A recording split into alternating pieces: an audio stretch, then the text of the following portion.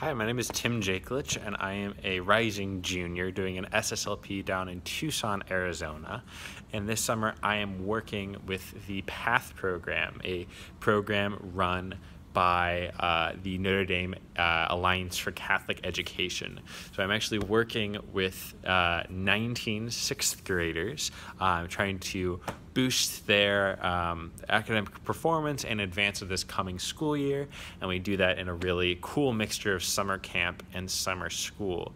Um, so what you'll see behind me is actually kind of the uh, rubble left after they they left my class today. Um, I'm teaching English, and um, yeah, we are having a a wonderful, uh, crazy, uh, super messy Uh, time down here, and it's all thanks to the SSLP.